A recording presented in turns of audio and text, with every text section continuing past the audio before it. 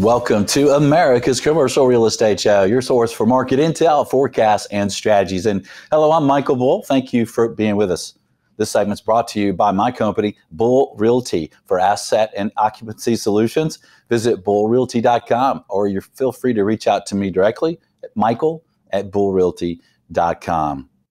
Once a year, I like to do a show on this very important topic when it comes to commercial real estate well, at least important to me, so I hope it is to you. And that is zoning, you know, entitlement. Because, you know, there's a lot of change in use happening right now. You know, we have a lot of properties, retail changing. We have a lot of office properties changing. Obviously, it's a great way for property owners, investors to improve values and, and do more for their for their community. Uh, and also, it's a hot topic sometimes, right? Some people are against zoning, and some people are for it. So it's a an interesting topic. And um, I'd like you to invite, uh, welcome my guest. Is Patrick Fox. He's CEO of Consensus Strategies, and he's joining us on video. Patrick Fox, sir, thanks for uh, being on the show. Good to see you. Good to see you. Thank you. Well, I appreciate you being on because you're an expert. You, you handle large zoning deals all over all over the country. You've got great experience and and it's up to date. And it's real interesting to, to talk to you about what you're kind of seeing around the country on some of these large rezoning issues. And uh, the first thing that I think my audience might be curious about is how is it going on some of these retail properties, some of these old malls, some of these older retail properties when it comes to rezoning them today for mixed use, uh, for example, so you have maybe multifamily offices and hotel, are the municipalities being a little more agreeable? Because it seemed like for years they'd like, oh no, it's got to be retail. We want the sales tax.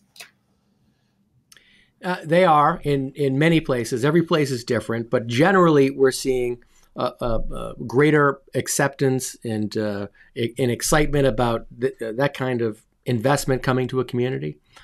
When you're coming there with retail, you could talk about uh, the current status of the retail market in that it's highly competitive, trying to bring these investments in. A lot of the um, uh, larger developers, uh, larger mixed use projects are looking at innovative ways to uh, attract people because retail isn't attracting people like it used to.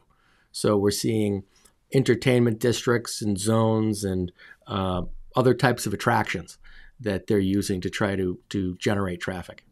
And what about the, the cost for development? Seems like a lot of these municipalities put up a, a lot of roadblocks and, and costs that sometimes uh, prohibit development. What, are you seeing a trend there? Is it is that changing at all? Yeah, we're generally seeing that going down. Again, everything you know it's, it's different everywhere, but generally, uh, it's it's a more competitive process right now. Um, and there is, uh, and I do try to set up every zoning battle as a, um, uh, we, we, try to make it part of the argument that this is a competitive process. If you don't want this investment in your community, there are lots of other communities that do. And uh, you know whether it's mixed use, a warehouse, um, uh, uh, condos, you know whatever it is, it's a competitive process out there for development in these communities. It's interesting that you called it uh, a battle. so you just know up front it's going to be a battle usually, right? Right. yeah. Uh, no matter what you do, even you know we do a lot of survey work and focus groups, and even in a community where we could take a poll and find out that that for a certain proposed project, there's 75 or 80 percent support for it throughout the community, and my clients laugh at that because they know when they go to do the hearing, the only people in the room are the people opposed. Um, and they're always showing up. The, the abutters, the special interest groups, environmentalists, um, the the cadre of people that are going to oppose everything, the, the the cave people, if you will, the citizens against virtually everything, um, and you know that sort of leads into the, the, this the uh, new trend now, thanks to COVID, for us to do virtual meetings, public hearings, um, webinars, um, and that's a huge benefit for developers. Um, and they should be taking full advantage of that. We started saying about a year and a half ago to our clients take your most controversial, largest, most important strategic projects and move them to the front. Do it while you can do these kinds of meetings where opponents can't hijack them. It's much more difficult for opponents to hijack a virtual meeting. and, and, this does a couple of things. I mean, we've always had this problem where um, opponents dominate the planning and zoning system in the United States and in lots of other countries in which we work. Um, there's always been a struggle for how do you move beyond the immediate abutters and the special interest groups. And virtual meetings do that. Um, it's so much easier for people to join. Uh, and so we can get people that aren't immediate abutters or aren't uh, uh, special interests that have the welfare of the community, that are look that understand the need for tax base, for jobs, um, and and for for other commercial development in town. So yeah, um, I think you know, and I hope my, my listeners and viewers are really taking listening to you here because it's really a significant change. I mean, you know, you think about 99 people are for it, one's against it, and when they were there in person, it, it, it was it was pretty it was pretty hurtful, right? And now with this process, it's more controlled. Right, and um, as we've all seen, when you go to these hearings or these public meetings, community meetings, um, any kind of, of in-person meeting, you can have 50 people or 200 people in the audience, and there could be three that are vocal, um, aggressive, and that speak out at the beginning and cause the rest of the room to just be quiet. They're not going to ask any questions. They're not going to um, uh, say anything for the project. They're just going to back off. And that makes other people in the room think everybody, everyone there is against it when they they weren't necessarily. If there's a reporter in the room, they'll write there were 200 people there and the only comments were negative, um, because those aggressive opponents scare everybody else off. I'm not here to fight with my neighbors. You know, I'm here to get information on a project or to support it. So uh, the virtual meeting eradicates that. Those people that are opposed get their say. Oftentimes, you know, it's you get you get three minutes, say what you're going to say, and then we move on to the next person. So their impact is the same as everybody else's. Everybody gets a say, and uh, it works out much much better, much more controlled, um, and you get more rational decision making that way. Yeah, that that's such good news. You know, I think for for everyone really, uh, because when people are opposed, they can uh, get pretty emotional, and that emotion can can can roll over to everyone else, right? And then if we could go back for a minute and get your view on on the rezoning, repurposing some of these retail properties um, that are becoming obsolete in some cases to industrial, more for distrib- distribution. What are you seeing there? Is that are municipalities more open to that now than they were, or what do you see? They are in, in some of the places that have legalized uh, cannabis. You know, you're seeing cultivation facilities um, and uh, retail facilities popping up in in some of those places. Um, but uh, people have, have had to get more uh, innovative and creative uh, with, uh, with, with with uses, and um, you can't. You know, in the in the old days, uh, sometimes you could slide some of this through. Um, you could meet with city councilors or planning board members and uh, just sort of go through the process quietly, and that doesn't really happen anymore. Uh, it, so with every single project, you should be prepared for a room full of concerned um, and uh, uh, fearful abutters and residents. Um, and you need to do the outreach.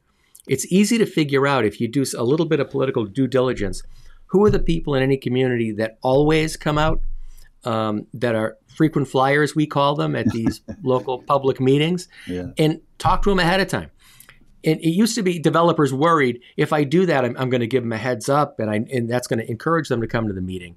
They're coming anyway, and um, you know, with the internet, they're all talking to each other.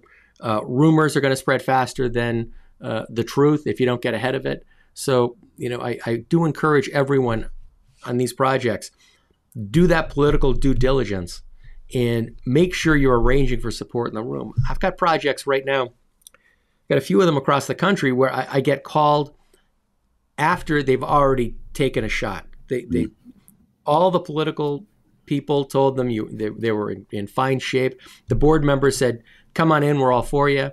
And when they come in, there's 200 angry residents in the room, yeah. and You know, uh, and and I'll say to them, show me the slides you used the presentation, and there's no community benefits in it. Well, we didn't think we needed it. Nobody said anything ahead of time. Um, what neighbors did you talk to? What abutters did you speak to before you came in here? We didn't bother. We thought we were fine. Well, now they want to come back and do it again, but there's blood in the water.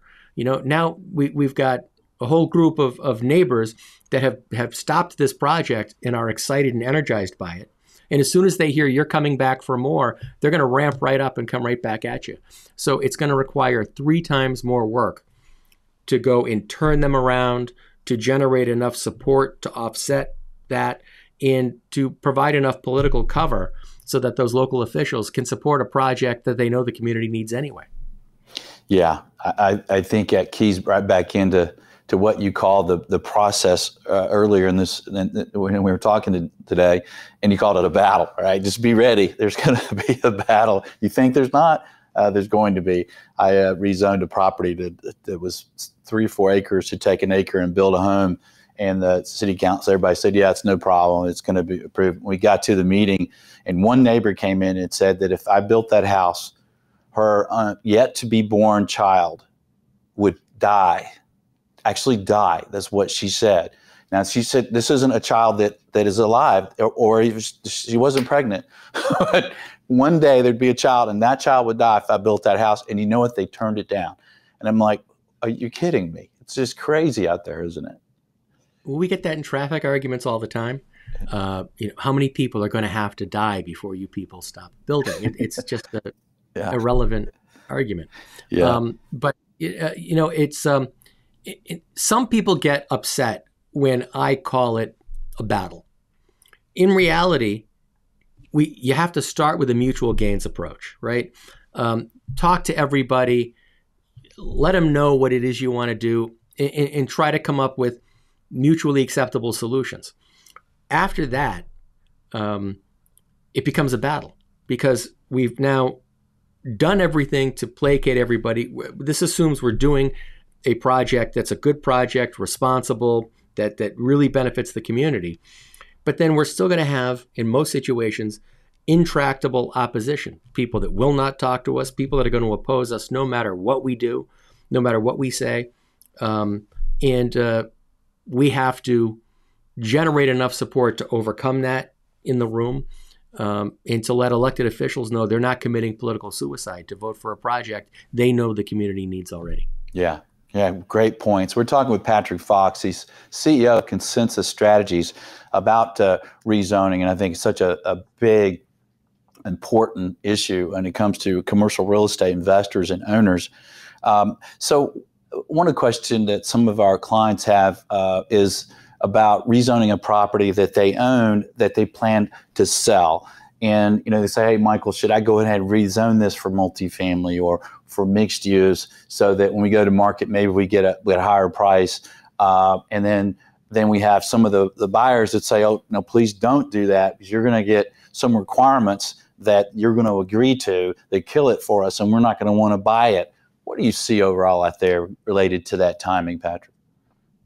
So there's no one answer for that. It falls into that political due diligence that we were talking about, right? It depends upon the relationship and reputation of the owner in that community. Um, there are times where uh, they're a multi generational uh, uh, family um, that is loved and respected in the community, and they're going to be the best voice. Um, and uh, th- that's the right way to move forward. In other situations, it's the opposite, where, where uh, uh, you know, they're seen as having overdeveloped or um, might be seen as a greedy local developer, and you're going to be better off bringing in a new face and doing it in a new way. It's it's um, it is tempting for the owner to rezone the property to try to get the highest and best use out of it to to maximize its sale value. Um, but you know, I would I would urge independent political due diligence review of that situation um, I just had a client the other day um, where I had, um, uh, they asked me to consult on a project that they've run into big opposition to. I watched a local um, uh, board meeting, a planning board meeting that had 200 people screaming at this developer, this local uh, landowner.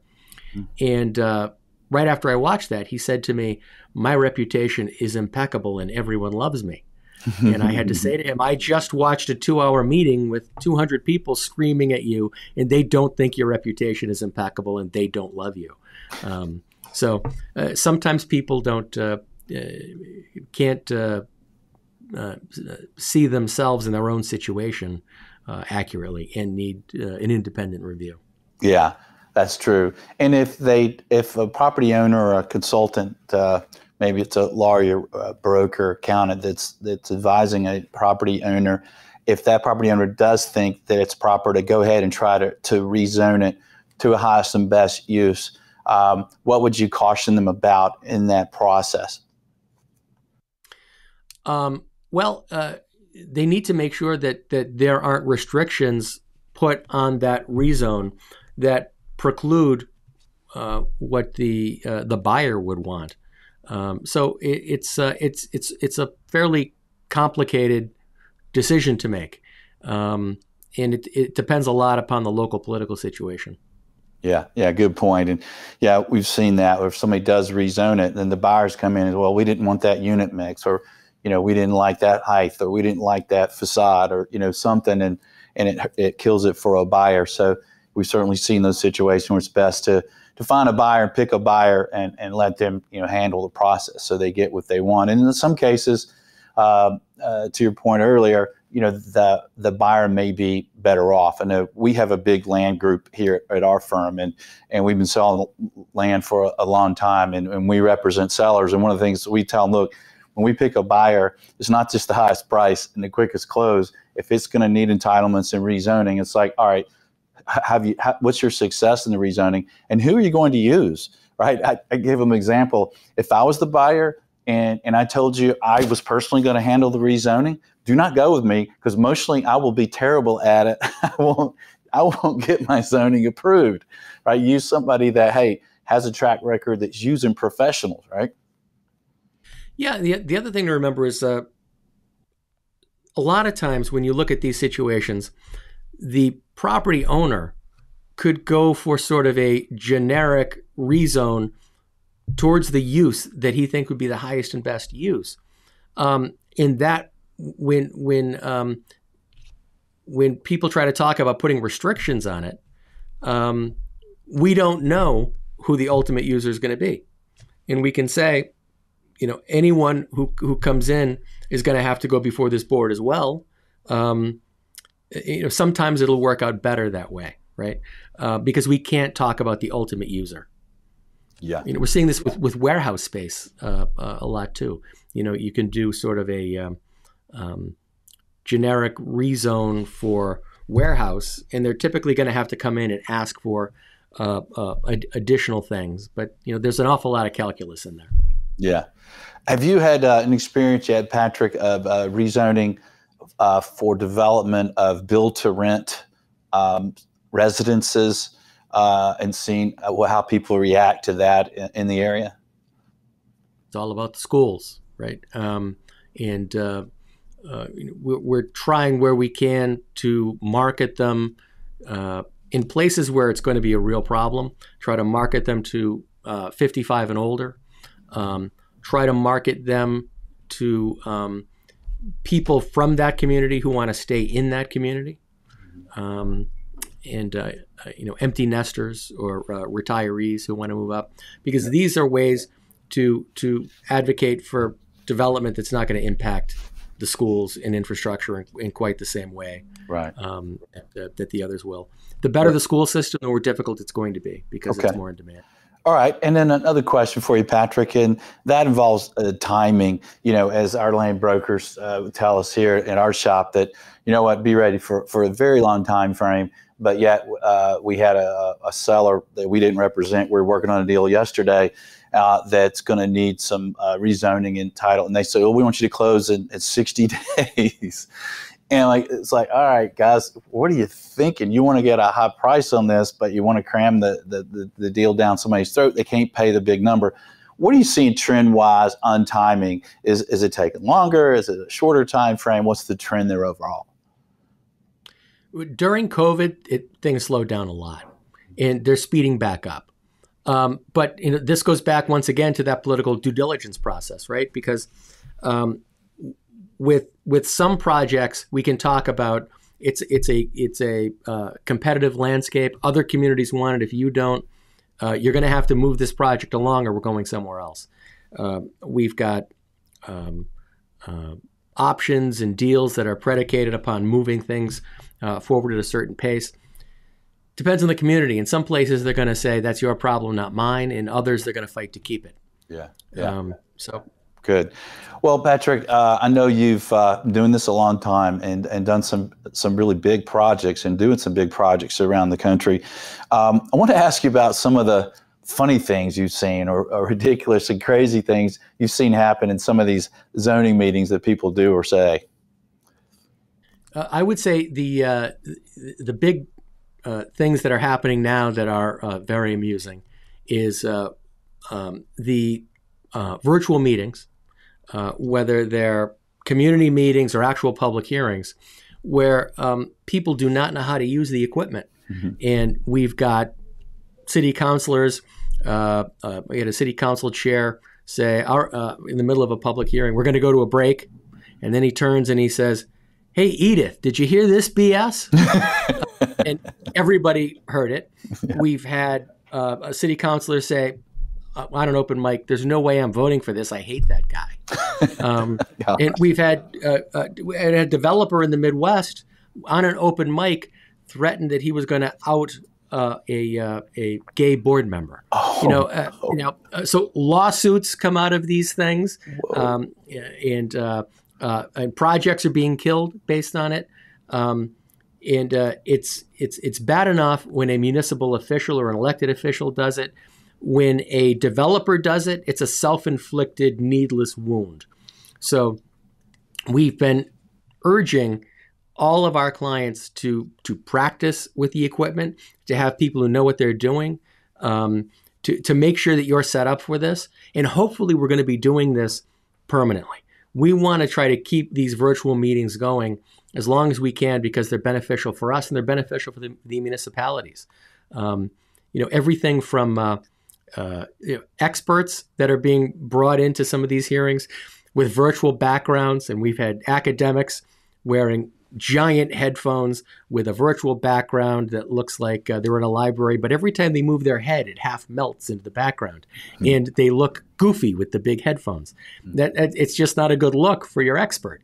Um, you know, so it's it's uh, preparation, understanding how to use this stuff, and you know, just like Ronald Reagan who announced over an open mic that uh, he's outlawed Russia and bombing begins immediately. and uh, the White House had to scramble over that mistake. We're seeing developers do it all the time. Assume every microphone is an open mic. When you when you end a um, a public hearing or a virtual meeting, don't start talking the second they say it's over. Make sure, make triple sure that you're off the meeting, that your microphones are off, um, and uh, you know always assume every microphone is live. Yeah, that's a very good point. And and and, and the listeners and viewers I know are doing a lot of virtual meetings themselves, and so your your tips there are important for whatever you're doing online. You know, and if, if you're watching the video version, you see Patrick, and you know his he's he's perfectly lit. The sound's great. The background's perfect. Uh, and you know you're going to come off more professional uh, my team won a, very large assignment to sell a very large office building, and and they said, "Hey, you guys are great. That's why we picked you." But we also want to tell you that the other groups, the the the presentations when they were in their own homes and on these on these it was just terrible it was unprofessional and it just came across wrong so whatever you're doing think about that and, and it's a great tip there patrick and and uh, patrick tell us about the um, was it a, a, a lady when you were doing a rezoning for some uh, uh, windmills. you always love this stuff. yeah. Um, yes. Uh, uh, this was another one in the uh, in the Midwest.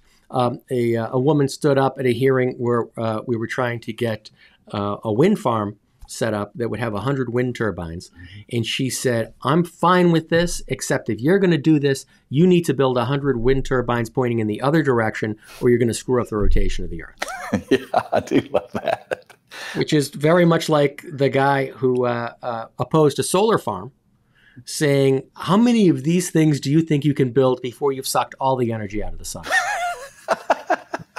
um, so, uh, you know, we talk to our clients about being prepared that you can't laugh at these people, right. Uh, you can't ridicule them, be respectful, uh, understand that the board will will know that uh, uh, these aren't legitimate topics. Um, but uh, you know, there's there's only so much uh, physics that we can teach the public at one of these public hearings. Yeah, and that's a good example. I couldn't be there because I would just laugh out loud. uh, wasn't there? Uh, you were trying to get approval for a steakhouse one time. Yes, uh, and uh, somebody got up and said, you can't build a steakhouse because the neighborhood dogs will go crazy. the neighborhood dogs will go crazy. This is this is not a reason not to build. Yeah. Uh, how about just the steak lovers that, that walk by too? That's right.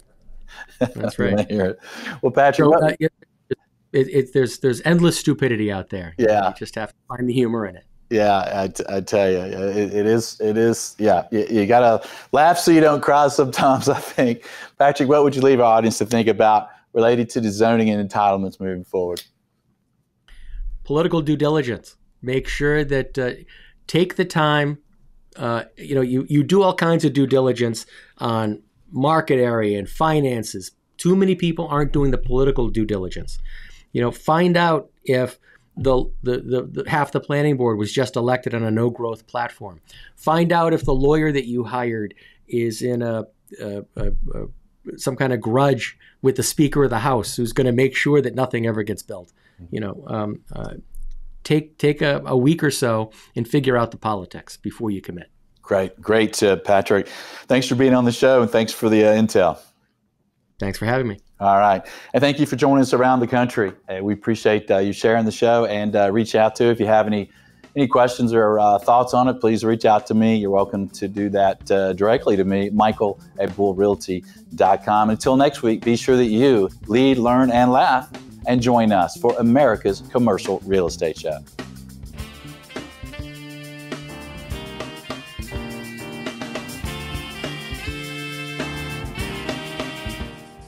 America's Commercial Real Estate Show is brought to you by Buxton. Take leasing site selection and due diligence to the next level.